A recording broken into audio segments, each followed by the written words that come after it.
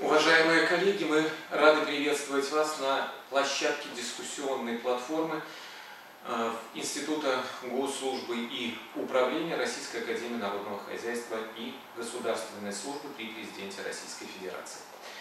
Завершается очередной год проекта диалогов религиоведения в третьем тысячелетии. Годы идут очень быстро. Еще недавно кафедра отмечала 50 лет своей истории. И вот 25 лет новейшей истории, которые составляют, по сути, половину от того, что было когда-то сделано.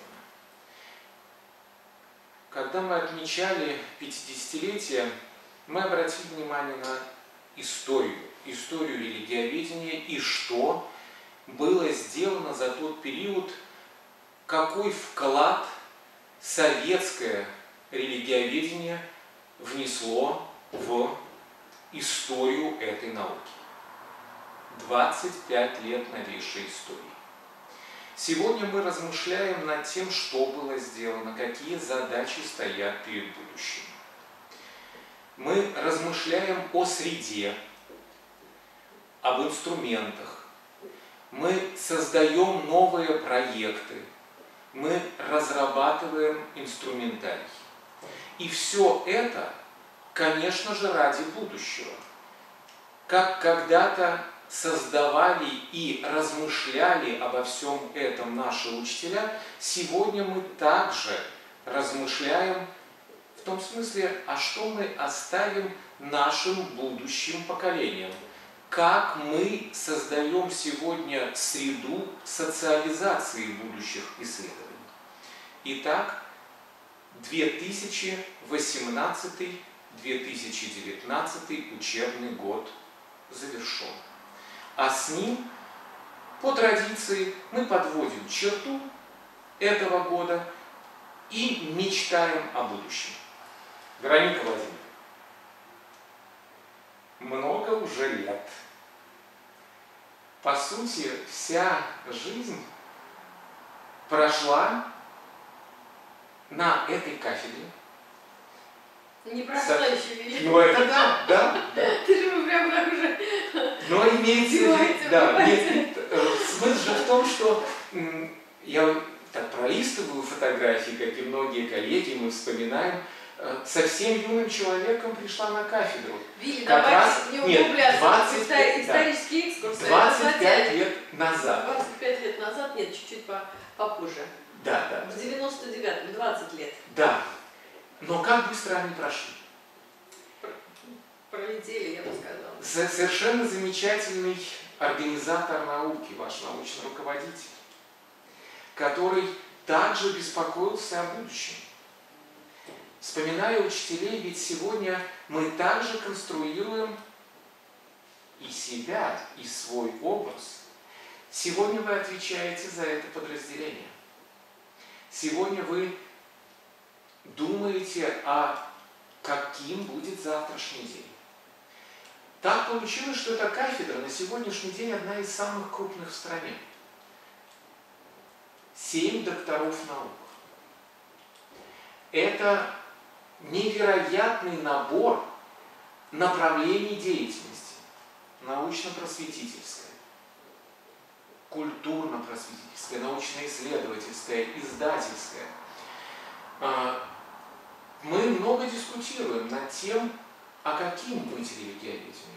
Вот если попытаться посмотреть на прошлый год, ну, с учетом того, каким будет завтрашний день, вот какие задачи бы вы выделили? Или, скажем, что бы вы обозначили как важные для себя исследователя, организатора,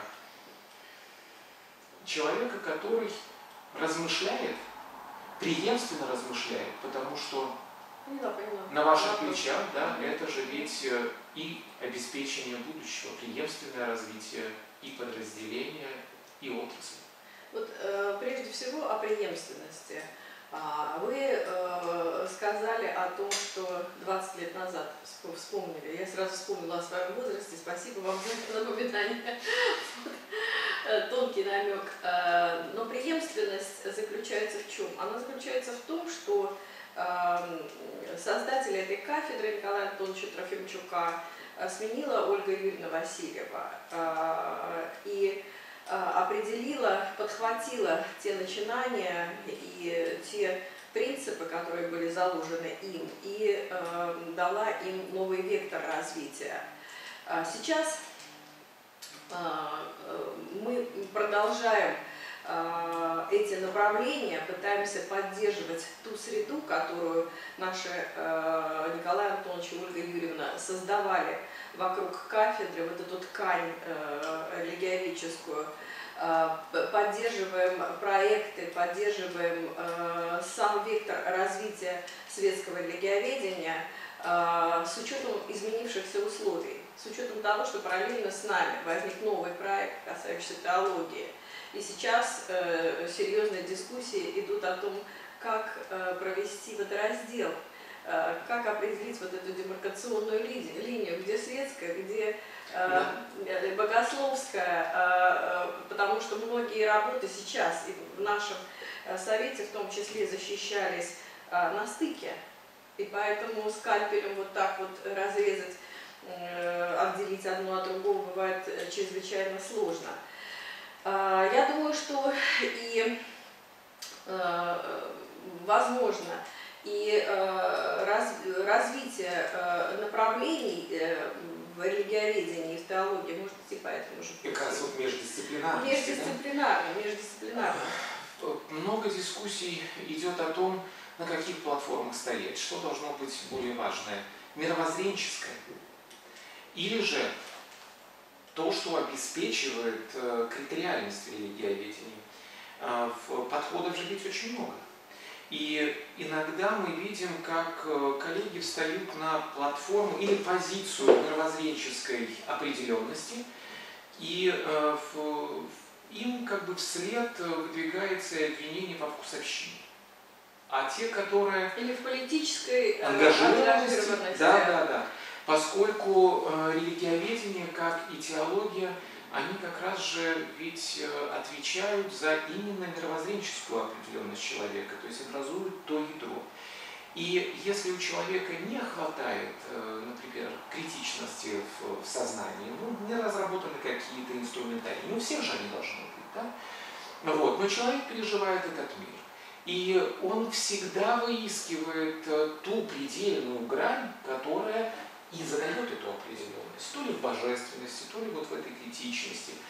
И вот в науке сейчас э, мы все чаще говорим о том, что важно оказывается определенность платформы, аксиома, аксиом, да, на которых э, базируется тот или иной исследователь. То есть как только он задает свою определенность, он становится понятен для других.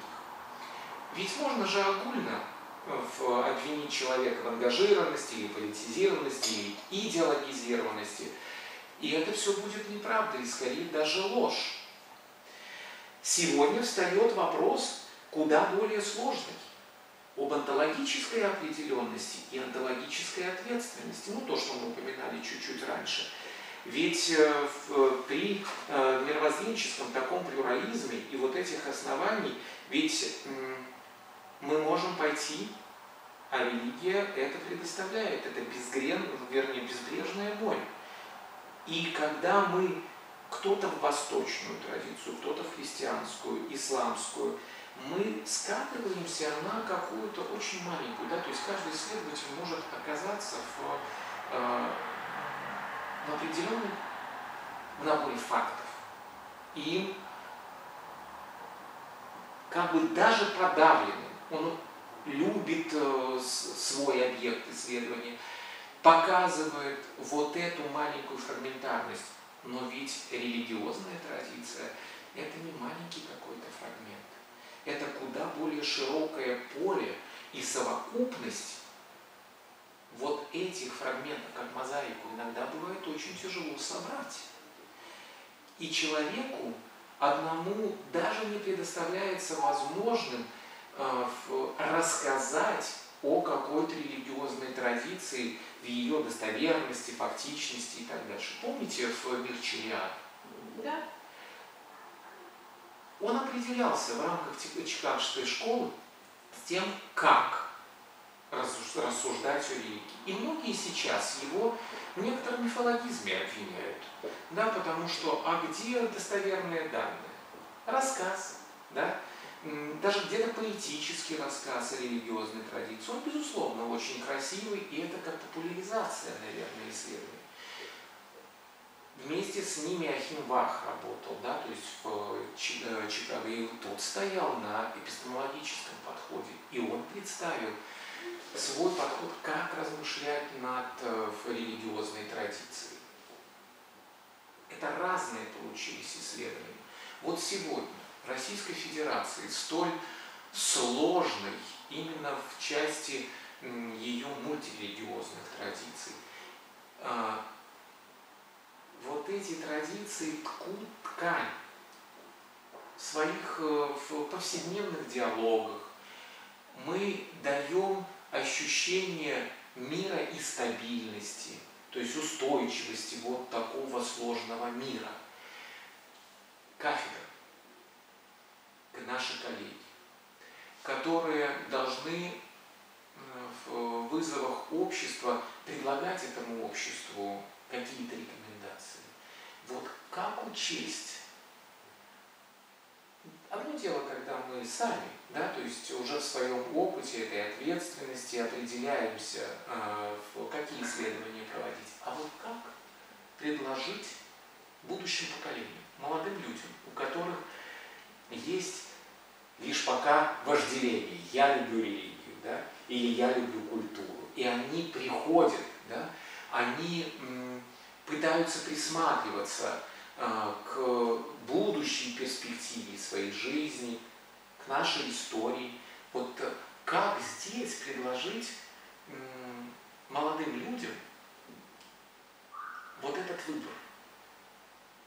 Как мы задаем эту определенность, да, и, и делаем, наверное, так, чтобы они, приходя с пока только интенцией вот этой любви, потом трансформировались в, и становились мощными исследователями, притом исследователями, исследователями, которые занимаются отработкой очень конкретных элементов, и, то, и в то же, да, то есть в, в, в тех же аспектах и участвуют в конструировании устойчивого будущего. Два вопроса. Ну, мне кажется, э, что э, молодых, молодым сейчас, молодых сейчас интересует, молодым сейчас э, жизнь подбрасывает, так сказать, поводы для исследований, какие-то интересные направления, поскольку мы живем в меняющемся мире и все время возникают какие-то темы, которые им самим интересны, и, э, может быть, даже э, людям старшего поколения с этим было бы трудно справиться в силу того, что ну, у них просто нет такого инструментария. Например, возьмем э, такую тему, как религия и виртуальное пространство. Да? Это интересует молодежь. К тому же, сейчас религиозная жизнь в нашей стране, ну и во всем мире, настолько бурно кипит, что вот эти события в межконфессиональном пространстве, в развитии различных конфессий э, внутри эм, э, всевозможные события э, в жизни религиозных организаций сами подталкивают исследователей к таким эм, научным изысканиям, которые могли бы стать эм, вот тем материалом, на котором можно было бы давать рекомендации. А, плюс ко всему, мне кажется, что очень важно сегодня а, развивать прикладные а, направления, касающиеся правовой проблематики. Ну, об этом говорим не только мы, об этом говорят и другие, потому что наше законодательство, к сожалению, устаревает в силу того, что появляются совершенно новые ситуации, совершенно новые какие-то вызовы ну, и в жизни. Да, уже Совершенно, да, совершенно верно. И поэтому э, вот прикладные э, исследования в области совершенствования законодательства, правоприменительной практики, э, возможности правовыми путями э, как, решать э, конфликтогенные какие-то э, проблемы в межконфессиональном пространстве, вот это сейчас э, очень важно, это сейчас злободневно. Э, Наверное, фундаментальные какие-то исследования тоже очень э, важны, э, но для них нужны, наверное, открытия. Может быть, если это история религии, то это какие-то археологические новые находки. Если это психология, религия, то это, может быть, еще какие-то, так сказать, новые орбиты. Вот. Э, но все-таки, мне кажется, жизнь сама подбрасывает вот эти вот для нас поводы для исследований, которые нужно просто вот, э, воплощать, имея э, вот это вот поле да, религиоведческое, которое мы пытаемся э, сохранить и приумножить в лице э, молодых специалистов. Как я понимаю, вот этот проект, который сейчас пытается в кафедра разрабатывать, мы можем назвать э, в первом приближении к географии религии, религиозная карта России, это как раз и будет тем самым, что покажет э, и историческую преемственность, да, то есть то, как трансформируется религиозность, как формируются, уточняются ценности, да, то есть которые из повседневности приходят, и их нужно также будет верифицировать, э, в, учиться различать, где идеологема, а где вот то базовое, которое жизненное, где фейк, где э, мимикрия под э, что-то, которое напоминает якобы реальность, но на самом деле она далека. И как не заблудиться вот в этих мирах, и как э, не стать, наверное, да, квази-богом в своем мире, да, и вызвать, наверное, улыбку. То есть вот этот проект – это ответ на сегодняшний, вернее, на вызовы завтрашнего. Да, разумеется, но это э, проект очень серьезный, э, и он э, трудоемкий, и многозатратный. Э, мы инициировали его, э, и у нас уже есть определенное видение, как это должно выглядеть, как это должно сопровождаться, потому что он э, пролонгированный. Это Да. же интерактивная карта, которая будет отражать э, современное состояние э, религиозной э, религиозной ситуации в нашей стране со всеми изменениями, э, со всеми, так сказать, поправками и так далее, что очень важно. Эм, Поэтому пока, пока а- оно у нас в таком инкубационном еще Ну да, как бы состоянии, которое должно будет воплотиться в какой-то серьезный результат. А Мы этому э, сейчас посвящаем э, серьезные усилия. Вот. а, Ну, а все остальное, все остальное, э, проекты, которые э, на нашей кафедре э, готовятся, да, э, они будут э, обусловлены э, э, теми вызовами, которые сегодня э, Ну, да, актуализируются, которые нам посылает какая-то наша сегодняшняя э, действительность. Но что мне хотелось бы сказать в связи с этим, поскольку это очень тонкая сфера, то эм, любая ангажированность, будь то атеистическое мировоззрение, мировоззрение или богословское, оно э, э, такое, знаете, э, э, мировоззрение, которое может таить в себе определенную э, угрозу. Да, потому что э, религиозная сфера – это сфера иррациональная. Как известно, эм, любой крен в ту или в другую сторону может вызвать эм, оскорбление религиозных чувств, может вызвать определенное, определенное неприятие, какую-то конфликтную Глубокий ситуацию. между-. Совершенно верно. А ведь э, стабилизирующим фактором в нашей э, многоконфессиональной стране может быть только мир и согласие. Поэтому светское религиоведение нейтральное, э, не дающее оценок э, каких-то политических окрасок и так далее. На мой взгляд, это э, очень э, серьезный э, Та инструмент, задача, да, которую Да. нужно вот э, и продолжать продолжать, продолжать, за который э, стоит, может быть, ну, главная, главный механизм решения межконфессиональных и межнациональных сложностей и проблем в нашей стране, потому что вот эта оценка дает возможность понять принципы да, и следовать э, принципам, которые заданы в нашей стране, э, отработаны э, и должны транслироваться. Э, в этой части, как мне кажется, вот этот шаг, который обеспечила кафедра в прошлом году, когда мы вошли в э, международный проект, связанный с неделей в гармонизации в межрелигиозной сфере, собственно, вот эта международная неделя 1-7 февраля, и вот эти диалоги религиоведческие, богословские, когда э, мы, с одной стороны, как в зеркало, да, то есть начинаем смотреть, то есть рассматривать традицию и предоставлять условия для этого диалога, заинтересованного академического диалога, когда представители религиозных традиций э, приходят и рассуждают о ценностях, о своей истории, о том, что они как ресурс. Вот э, мне думается, вот этот шаг, который Российская Федерация, в том числе э, с позиции кафедры, сделала, она будет иметь какую-то перспективу. И то, что в этом году в мае прозвучало вот это решение э, на площадке кафедры о создании поддержки проекта «Я и Россия. Мечты о будущем», которые предлагают для будущего молодых поколений помечтать, каким будет страна через 30-50 лет. Так вот, подводя какой-то итог этому году, Грей Владимирович, какова мечта? Лично ваша. И, соответственно, вот э, кафедры, они завтрашние.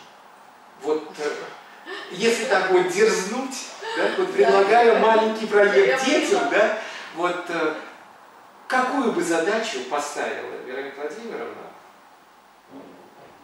на будущее для кафедры? Понятно, что все мы это будем дискутировать, вот, обмениваться, да? Вот э, мечта и дерзание Вероники Владимировны. Вилли задается интимные вопросы. Конечно, да. Мечта, да, это очень э, такая тонкая сфера, э, э, при этом вы предлагаете разоблачиться перед виртуальным пространством, да? Да. Но тем не менее, да, все-таки я скажу, у меня нет секретов. А, мечта о том, чтобы, разумеется, наша страна процветала. Мы уже в том возрасте, когда ехать куда-то и устраиваться в теплых краях, это уже не наша э, э, судьба. А мы останемся, разумеется, мы останемся здесь и будем проживать свою жизнь вместе с судьбой своей страны, поэтому я думаю, все здравомыслящие, кто живет на территории нашей страны, понимают, что мы должны общими усилиями сохранить и приумножить. Сохранить в первую очередь, приумножить, то это уже, так сказать, Вторая задача.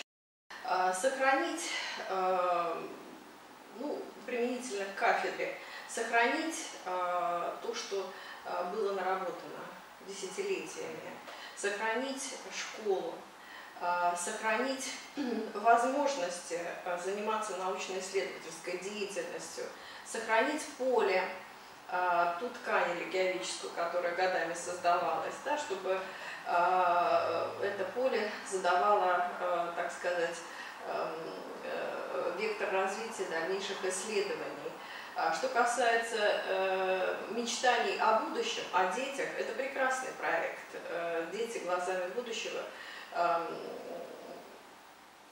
будущее глазами детей.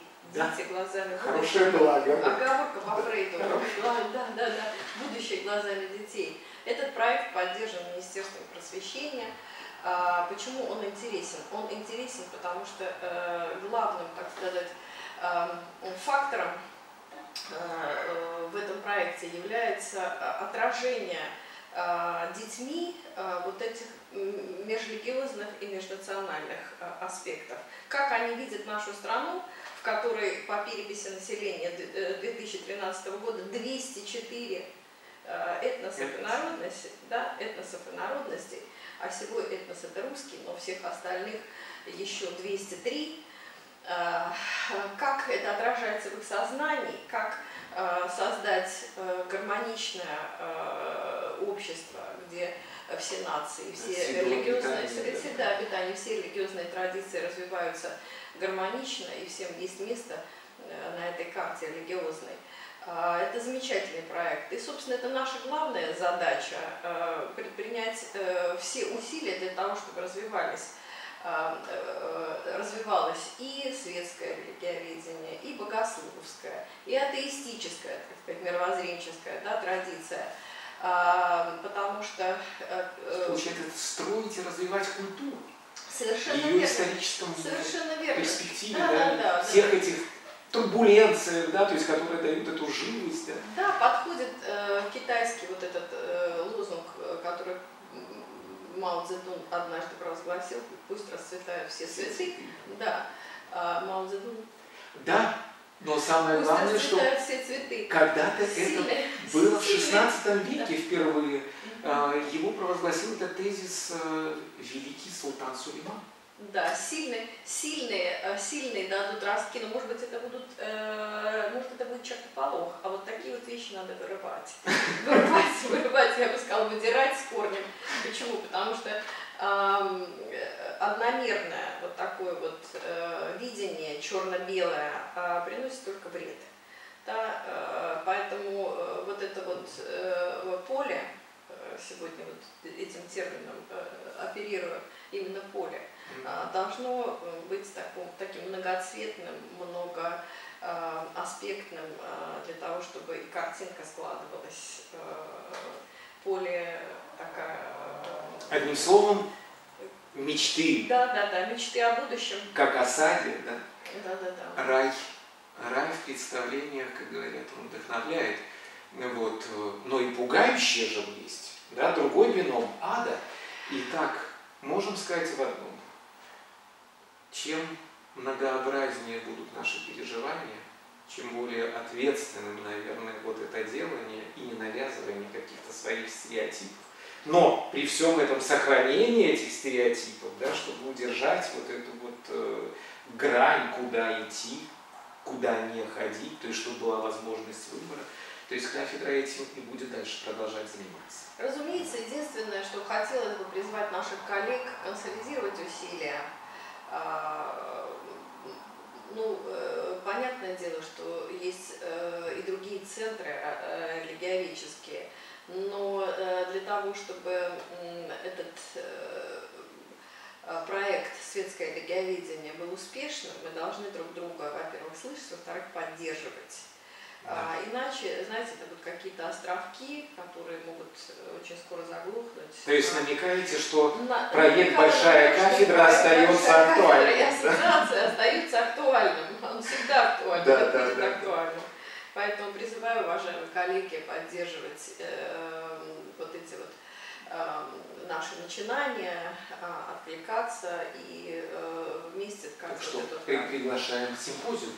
Да. Предлагаем, да, принять участие в симпозиуме. Ну и вот все э, мысли, э, какие-то идеи, которые возникнут в связи с этим, э, готовы обсудить. Это площадка дискуссионная, только в дискуссии может что-то конструктивное родиться, не в спорах, а в дискуссии. Это мое э, очень устойчивое убеждение. Спасибо. Спасибо, да. Слава, слава Богу, что год, как говорят, завершается на этом подъеме. Буду желать творческих вдохновений, будет маленький отпуск. Помечтаем, да? Спасибо.